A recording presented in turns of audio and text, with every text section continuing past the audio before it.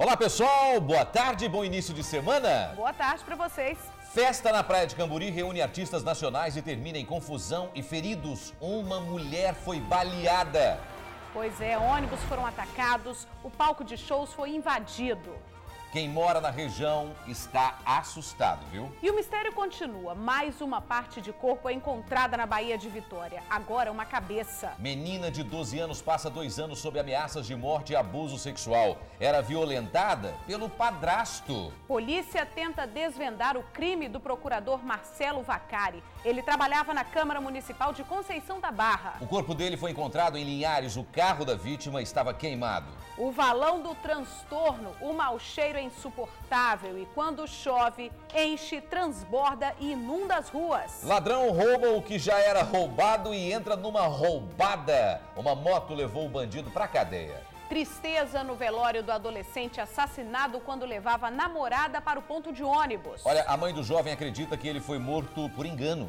É lei, mas gestantes da Serra continuam sem direito a acompanhante na maternidade. O bebê de uma amiga do TN vai nascer em breve. Ela sofre com dores no corpo, precisa de ajuda e luta para garantir o direito de ter alguém ao lado dela. Emprego. A semana começa com vagas para trabalhar em supermercado e na construção civil. Sua vaga tá aí, viu? Agora me responde uma coisa, melhor, deixa que a Naira faça a pergunta. Você é pessimista ou otimista, hein? Pronto, falei! E ainda, Santa Maria de Etibá marca um omeletão em cima dos hermanos. A omelete gigante Uau. preparada na festa do colono é considerada a maior das Américas. Superou a receita preparada pelos argentinos. Deu até fome de comer omelete, né? Foram usados quase 16 16 mil ovos, os 600 quilos de gostosura alimentaram uma multidão. É isso aí, Tribuna Notícias, primeira edição, a gente volta rapidinho. Então não sai daí não, até já, viu?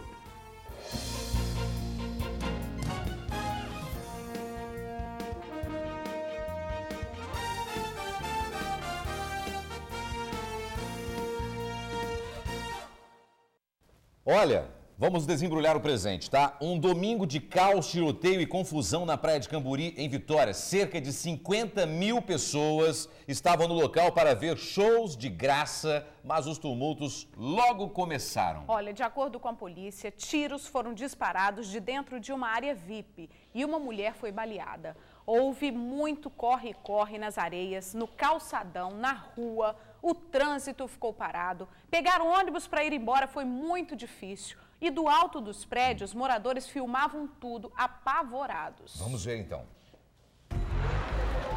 Me ajuda!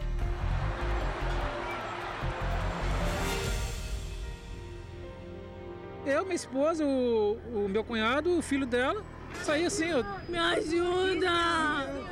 Me ajuda, pelo amor de Deus! Uma noite de caos em Vitória. Olha aqui lá, lá pra trás, ó. Ele tudo pra lá, ele pra lá. Tá roubando tudo. É um absurdo, eu pedi ajuda policial, ele tinha um monte de policial, ele falou, senta no chão e espera a ambulância. Pô, era, custava ele chamar uma ambulância pra mim? Não custava, cara. O senhor veio pra se divertir e saiu assim? Eu, minha esposa, o, o meu cunhado, o filho dela, saí assim, eu Perto dali, no meio-fio, outra pessoa ferida. Uma adolescente de 15 anos que tinha machucado a perna gritava de dor. Eu não vou falar não, eu quero ir pro hospital. Eu quero ir pro hospital. Me ajuda. Me ajuda, pelo amor de Deus. Não aparece ninguém. Desmaiou. Desmaiou nesse momento. Nesse momento ela desmaiou, gente. Ela desmaiou. Vou ligar aqui pro 192. Já ligamos, já, um monte de vezes. Após várias ligações para o SAMU, o socorro que chegou foi do Corpo de Bombeiros. O Corpo de Bombeiros acaba de chegar aqui para socorrer a adolescente. Segundo os amigos dela, uma hora depois do pedido de socorro. Neste vídeo dá para se ter uma dimensão do que foi o domingo à noite. Uma moradora registrou a correria da multidão durante um evento na orla de Camburi.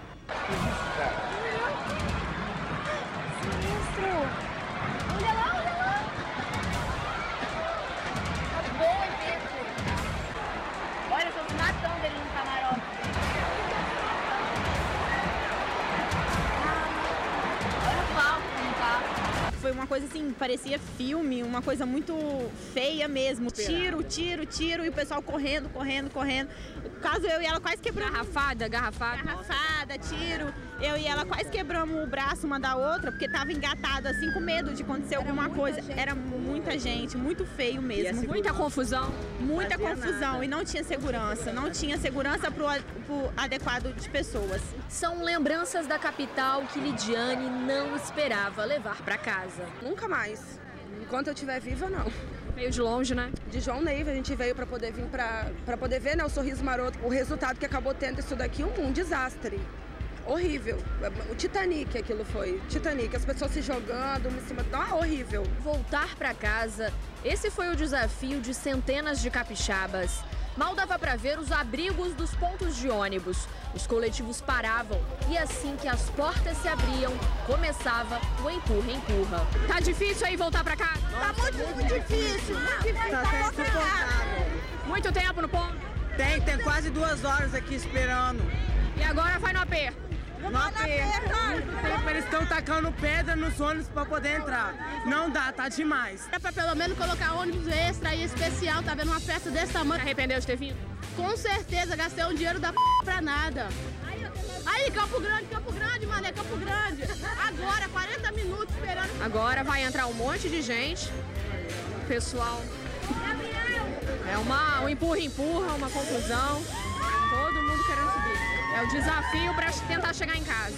Mesmo assim, faltava transporte para tanta gente. Foi uma longa espera na grama. Quem teve que exercitar a paciência também foi o motorista que precisou passar pela Avenida Dante Michelini. Quanto tempo já no trânsito? Há uns 40 minutos. E muita bagunça, tá certo não. Complicado. O saldo da noite foi negativo. Garrafas e mais garrafas no chão, latinhas, muita sujeira, população ferida, impaciente e gente presa. Um menor de idade, aparentemente, né? Com os policiais do Batalhão de Missões Especiais. Por que, que ele foi apreendido? Hum, droga, Cololó. Segundo informações iniciais da Polícia Militar, a previsão de público era de 20 mil pessoas, mas a estimativa é de que pelo menos 50 mil pessoas tenham assistido ao show. Ainda segundo a Polícia Militar, houve um disparo da área VIP em direção à multidão. Uma mulher foi baleada e socorrida para o Hospital São Lucas. Durante o evento também, um rapaz de 20 anos foi preso com cordões, dinheiro e um simulacro. Ele foi levado para a delegacia. Nem a presença da tropa de choque evitou que uma desordem se instalasse na capital em poucas horas.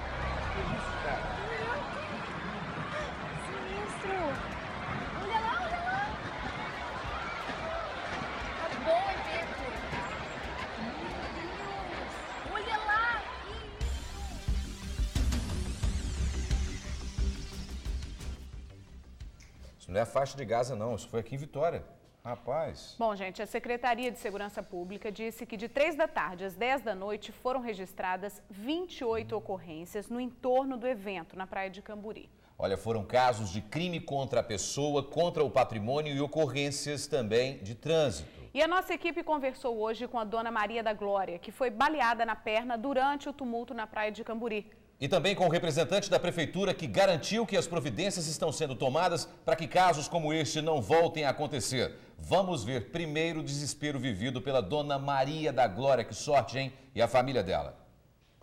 A dona de casa conta que estava junto com a filha, genros e netos quando o corre-corre aconteceu. A senhora me relatou que estava com dois netinhos bem pequenininhos, né? Quais as idades deles? Quatro anos e outro de dois. É. Na hora do... na areia.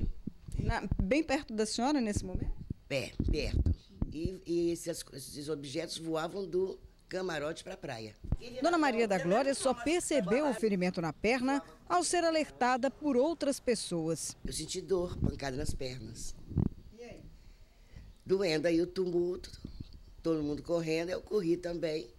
Aí que eu percebi, me falaram que eu estava sangrando. Durante o evento, que reuniu mais de 30 mil pessoas na praia de Camburi, ela e a irmã presenciaram muito tumulto. A dona Edir também esteve lá, vendia cerveja e viu vários objetos sendo lançados de um lado para o outro. Menina, Foi um absurdo. O pessoal jogando garrafa para lá, para cá, garrafada e latinha. O marido dela também ficou apavorado com a confusão. Foi muita correria mesmo. E foi o tempo todo, não foi só nesse momento, não. Até a noite, vocês teve mais de 10 confusão, muita confusão. Na praia, onde o show aconteceu, a revolta é de quem mora perto. Que é apavorado, porque eles podiam até tomar a nossa urina, que você for olhar ali na minha garagem ali, tá cheio de urina. Até agora, tá lá. A caatinga é violenta, mas violenta mesmo. Porque o povo não tinha onde urinar. As pessoas precisam, precisam mesmo, entendeu? De ter diversão, alegria, se distrair, se divertir. Agora, as autoridades têm o dever e a obrigação de criarem condições seguras, tanto para quem vem assistir, né, quem vem trazendo seus filhos, seus netos, como também para os moradores do entorno. Estivemos na prefeitura para saber quais as providências que o órgão público vai tomar para evitar que shows como o que aconteceu ontem, lá em Camburi, terminem em confusão. Ouvimos do secretário de Segurança Urbana, Frônzio Calheiras, que ele esteve no local e acompanhou boa parte de todo o tumulto que aconteceu lá. Ele também disse que o público estimado para o show de ontem era de 25 mil pessoas e que provavelmente o dobro dessas pessoas compareceu para assistir o show. Diante de tudo o que aconteceu, a prefeitura, segundo ele, vai adotar uma regulamentação para shows como este, principalmente levando em consideração a quantidade de artistas e também o tempo de duração dos shows. Estamos avaliando formas de regulamentar melhor esses eventos para que fatos como aqueles de ontem não se repitam em Vitória. Provavelmente a gente vai regulamentar isso através de decreto municipal. Passou e fica aí então a experiência, né? Padrasto é preso, ele deveria proteger. Ele é suspeito de abusar da enteada de 12 anos. De acordo com a criança, os abusos começaram há dois anos. E as ameaças de morte feitas contra a família fizeram com que a menina aguentasse tudo calada. A adolescente de 12 anos não consegue segurar as lágrimas. Foi o tempo que eu me soltei e teve coragem de falar com minha mãe tudo que ele fazia comigo. Foram mais de dois anos sofrendo abuso sexual. Diz ainda que o padrasto sempre a agredia e a ameaçava. Falava se, eu, se ele soubesse se eu ficasse ou namorasse com alguém, ele me matar. E arrancar meu pescoço e me pendurar de cabeça para baixo. A mãe da jovem exibe marcas no corpo também sofria agressões. Já tinha se separado dele também, né? Tem um mês que eu tô, que eu tô longe dele, eu larguei ele. Aí ela veio me contar quarta-feira, ela tinha muito medo. Ele ameaçava, ele botava faca no pescoço dela, ele ameaçava em matá-la. Entre os familiares havia desconfiança. O comportamento da adolescente era estranho demais. Ruim na escola, é muito quieta, muito triste. Ela é uma menina muito triste, ela não conversa, ela fica no canto. Ela não é de conversar, de brincar, aquela menina alegre. É uma menina muito triste. A gente recuava, botava ela no quarto fechado, conversava com ela, para ela se abrir, mas ela não se abria. Ela jurava que nunca tinha acontecido nada, porque ela estava sendo ameaçada por ele, né? Ele ameaçava ela, de matar ela, de matar a família dela toda, né? O que ele postava na internet da sua sobrinha? Ele postava que ela era a menina mais linda do mundo, que ela era a menina maravilhosa, né, que a amava como enteada. Todas as fotos que tinha dela com os amiguinhos ou tinha dela com a família, alguma coisa, ele tirava. Ele deixava só ela, só ela. Ele tipo que recortava e deixava só ela. O homem de 36 anos foi detido e trazido aqui para a delegacia da mulher em Vitória. Ele não quis falar sobre as acusações. Como é que você se sente? Aliviada de saber que ele está preso. Só quando ele descer e eu ter certeza que ele não vai ter fiança, que se ele tiver, ele vai pagar e vai sair. Aí ele me mata. Ele me mata. Eu não quero que ele saia, eu quero que ele pague pelo que ele fez. 10, 20 anos, ele vai pagar.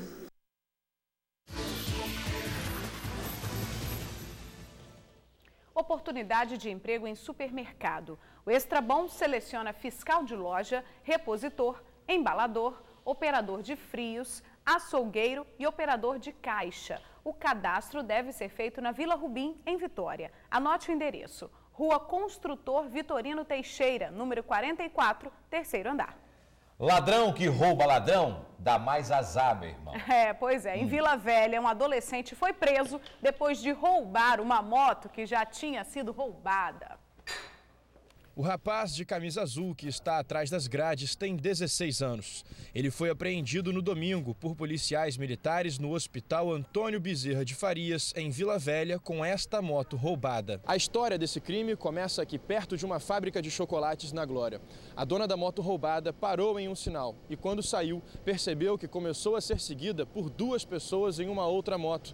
Suspeitando de que seria uma dupla de assaltantes, ela procurou um local mais movimentado em busca de segurança. Ao chegar ao ponto final do bairro, parou em frente a uma padaria. Mesmo assim, os bandidos agiram. Depois do susto, a vítima ligou para o noivo e contou o que aconteceu. Eles realmente não se intimidaram com o movimento que estava no local e roubaram ela do mesmo jeito. Pedindo que ela saísse do, de cima da moto, mas na hora do nervosismo ela chegou a travar eles ameaçaram, levantando a blusa, desce. E ela desceu. Segundo a polícia, os dois criminosos seguiram até o centro de Vila Velha, deixaram a motocicleta no local e fugiram. Nesse momento, o menor apreendido apareceu e pegou a moto. É, na verdade, não deixa de ser um roubo, né? Porque ele não foi reconhecido pela vítima como o autor do roubo ali na Glória mas estava em, posse da motocicleta. A balconista da padaria ajudou a acalmar a vítima depois do roubo. Ela contou que os crimes acontecem com frequência na região. Que é bastante frequente assim, esses tipos de roubo, assim, sem mais nem menos. Roubo de bicicleta, roubo de moto, entendeu? Vários tipos de assalto, assim. O menor apreendido estava no hospital visitando a, ou, ou, melhor, o avô. Sobre a segurança na região da Glória, a Polícia Militar afirma que houve redução de 26% de crimes contra o patrimônio em relação ao mesmo período do ano passado. Pois é, a Patrulha da Comunidade realiza reuniões mensais com a liderança comunitária da Glória para discutir o policiamento. Além disso, o bairro conta com patrulhamento 24 horas com reforço nos horários de pico. Você já é mamãe, você sabe que toda gestante tem direito a ter um acompanhante na maternidade quando ganha o bebê. Mas em hospitais, em alguns hospitais públicos do estado, isso não acontece. Pois é, a mãe precisa, claro, hum. se virar sozinha com recém-nascido, mesmo quando há complicações depois da cesárea, isso não dá, Torino. Por experiência própria, eu posso dizer, não dá. Vamos ver.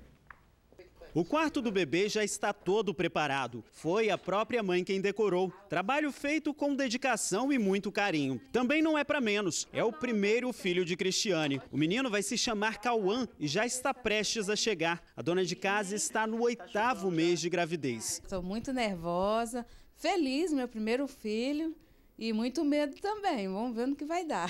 A preocupação surgiu quando Cristiane foi até a maternidade de Carapina na Serra. Ela queria informações sobre o local. Lá não pode entrar acompanhante. Eles alegam que é falta de espaço. O que isso me espanta muito, porque nós temos uma lei federal que ampara todas as gestantes, então nós temos por direito reclamar e reivindicar o nosso direito.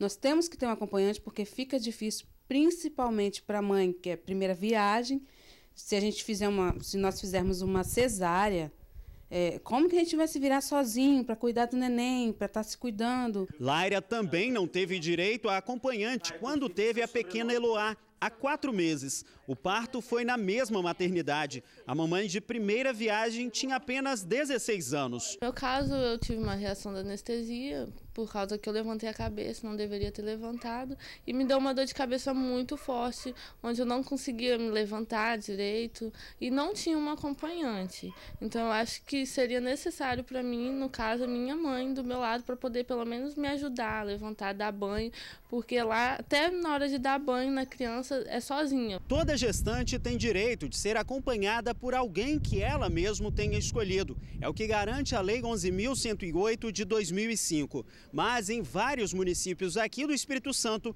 a lei federal não vem sendo cumprida. No caso da Serra, o secretário de Saúde tem uma explicação. Infelizmente, em várias maternidades do Espírito Santo e também na nossa maternidade de Carapina, nós não temos espaço físico, estrutura física neste prédio para atender ao, ao que está recomendado no Programa Nacional de, de Atenção, né, que é denominado de Rede Cegonha, que é a presença de um acompanhante. Mas este defensor público orienta que as futuras mamães podem buscar auxílio na justiça para garantir que a lei seja cumprida. Essas mães que tiverem negado o direito de ter uma acompanha, um acompanhante durante o parto, elas podem procurar a Defensoria Pública é, no Núcleo de Atendimento Integral à Saúde para poder fazer seus requerimentos, tanto na seara administrativa ou até mesmo se a gente verificar que é caso de ajuizar uma ação judicial para garantir esse direito. Se for previamente ao parto, garantir o direito a ela de ter um acompanhante.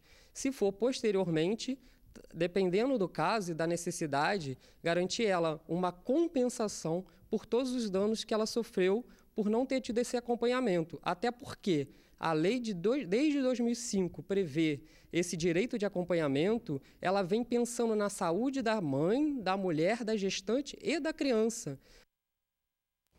É isso aí, né? O secretário de Saúde da Serra disse ainda que o município vai ganhar uma nova maternidade em Laranjeiras com 60 leitos. E no caso da Cristiane, que, nós, que nos procurou, a gente mostrou lá no início da matéria, a Secretaria de Saúde vai entrar em contato com ela para saber o que pode ser feito. E as atrocidades que alguns seres humanos é capaz de fazer continuam. Mais uma parte do corpo humano foi encontrada na Baía de Vitória, desta vez uma cabeça. A cabeça foi vista por um morador que passava pela Avenida Beira Mar ontem pela manhã. Estava perto do antigo terminal Dom Bosco, você conhece. Ainda não se sabe se a cabeça é de um homem ou de uma mulher. Mas nas últimas semanas, pedaços de um corpo feminino têm aparecido na Grande Vitória. A perícia foi acionada e levou a cabeça para o Departamento Médico Legal. A polícia já pediu exame de DNA para verificar se as partes encontradas pertencem ao mesmo corpo. Cariacica vai ganhar um parque estadual de mais de 22 milhões de reais. Dinheiro para chuchu, né? Uma obra grandiosa e que contrasta com a realidade dos bairros que vão ficar no entorno, ali por perto. Pois é, são bairros carentes de infraestrutura e que sofrem com as enchentes provocadas por um simples valão. Em Itanguá, Cariacica, os problemas têm de sobra, mas um, há muitos anos, atrapalha bastante a vida da população. É este valão que tem tirado o sono dos moradores. Se vocês passarem da minha casa, vocês vão ver coisa pior ainda. É lixo, é coisas mortas, é tudo quanto é mundiça. É no período de chuva que a situação piora ainda mais. O valão enche, transborda e inunda as ruas. Dona Lindalva já passou por momentos desesperadores. Quando eu fiquei doente, quem me carregou no colo foi meu filho, porque não dava para o táxi pegar a gente na porta. É tanto que nós tínhamos um carro, nós vendemos porque não dá para fazer garagem. Porque se fizer, várias pessoas perderam um carro porque a enchente. Para resolver o problema, uma obra foi iniciada, isso há mais de 10 anos, mas parou sem ser concluída. E as enchentes continuam e são cada vez piores. Essa obra é, foi iniciada né, quando nós vivíamos aqui, era pior ainda as enchentes, deu uma amenizada quando eles começaram e a gente estava na esperança que iam terminar o valão. Só que eles fizeram até uma certa parte parar esse trabalho e as águas continuam. Como vimos no valão, a obra ainda não foi concluída. Mas, segundo os moradores, assim mesmo, a Prefeitura de Cariacica está priorizando outra construção aqui no bairro.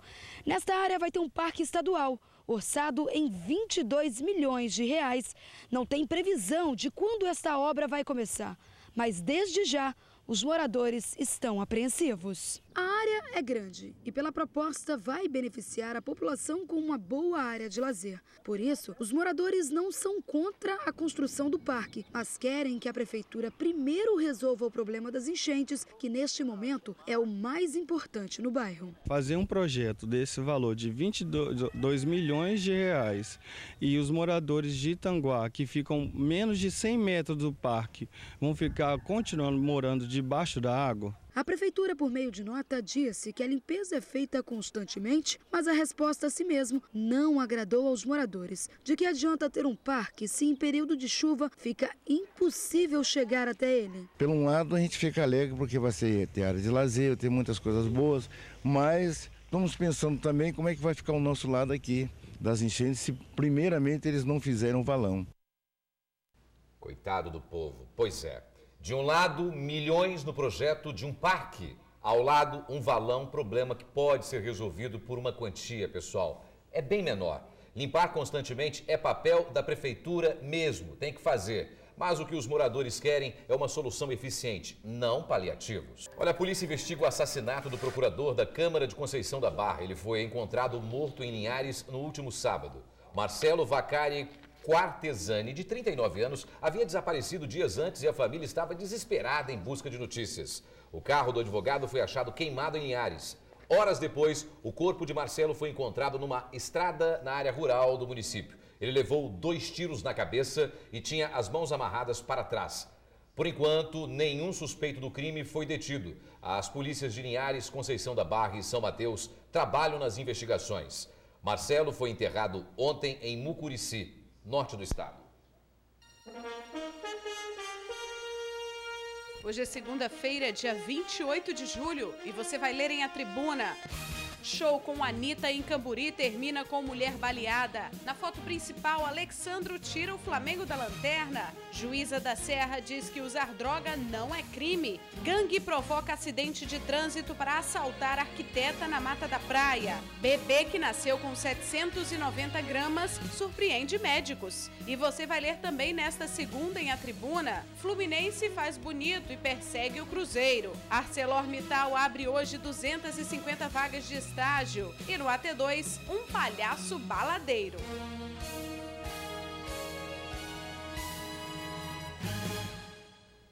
Vamos ver agora outras oportunidades no mercado de trabalho. As vagas são para carpinteiro, pedreiro, auxiliar de obras e outras. Os interessados devem procurar uma das obras da Lorange levando os documentos pessoais.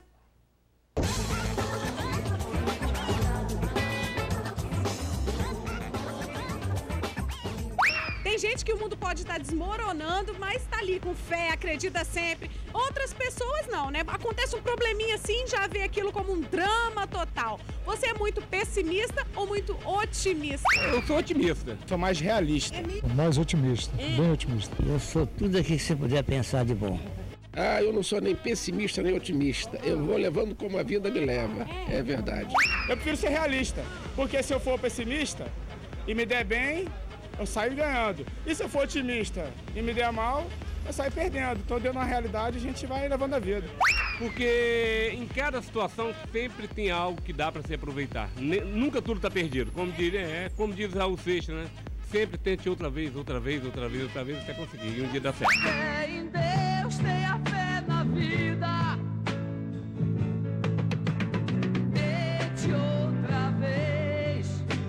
situação vira. Inclusive, eu estava praticamente sem saúde, hoje eu estou com ela mil por mil. Da vida, se a gente for resolver problema, tem todo dia, toda hora. Então a gente vai ser pessimista a vida toda. Então tem que deixar o problema para lá. Eu só penso positivo.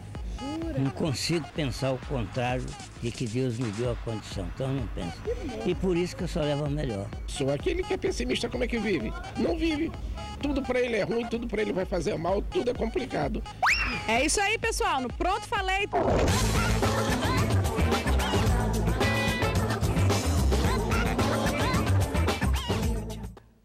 Pessimista ou otimista? Otimista. Pelo que eu te conheço, você também, né? Otimismo, claro. Problemas, amigos. Todos nós temos. Eu tenho tanto problema que se eu contar, você chora, hein? Você eu tendo? também, né? Então, melhor nem falar, né, Toninho? Vamos sorrir, então, né? Pessoal, mudando de assunto, estudante é assassinado com seis tiros na serra. A família acredita que ele, o jovem, foi morto por engano. Vinícius Lepaus da Costa, de 16 anos, foi morto depois de levar a namorada até um ponto de ônibus no bairro Hélio Ferraz. O crime aconteceu ontem às 5 e meia da manhã, na rua Rio Paraná. A mãe da- do estudante acredita que o filho tenha sido morto por engano. Disse que ele não tinha inimigos e não mexia com nada errado. Ela acha que ele pode ter sido confundido com traficantes da região. O adolescente passou a madrugada em uma festa no bairro de Fátima. O corpo de Vinícius foi enterrado hoje cedo no cemitério de Maruípe, aqui em Vitória. Em instantes, passa rápido, né? Omelete gigante, que fome, preparada na festa do colono em Santa Maria de Jetibá, é a maior das Américas. É, foram usados quase 16 mil ovos. Os 600 quilos de gostosura alimentaram uma multidão. Não saia daí, voltamos rapidinho com esta matéria, agora meio-dia e meia. Até já, amigos. Vamos falar agora de omelete. Não é aquele omelete que você prepara em casa, não, pequenininho, não. O maior omelete das Américas, amigos. Santa Maria de Jetibá conquistou esse título. O amigo do TN, o Leônidas Gomes, obrigado Leônidas, participou da festa e mandou as fotos pra gente. Olha só. Ele contou que o evento estava bem animado e que o omelete gigante ficou uma delícia. Foram 600 quilos preparados com quase 16 mil ovos, Pois Naira. é, gente, tá vendo aí um vídeo também mandado né, pelo pessoal de lá, de lá que fez Olha lá essas que imagens barato. bem legais, né? Olha só, a omelete Ai, ficou três horas cozinhando na frigideira de aço e o público que participava da festa do colono acompanhou tudo de pertinho. Depois, olha só, duas mil porções de omelete foram distribuídas gratuitamente. O pessoal comeu pra caramba, hein? Parabéns, então, Santa Maria de Etibá. Que delícia. O Pena que a gente não maior- tava lá, né? A gente não tava lá. O maior um omelete das Américas. Mas eu vou fazer em casa. É isso aí. Pessoal, assim. obrigada pela companhia. É. O PN fica por aqui hoje. Uma boa tarde, ótima semana e até amanhã. Bom início de semana para todos. Fique agora com Débora Moraes. No Ronda Geral tem BO para Chuchu. Uma ótima tarde para você, para você, para nós. Fomos. Tchau, boa tarde. Obrigado.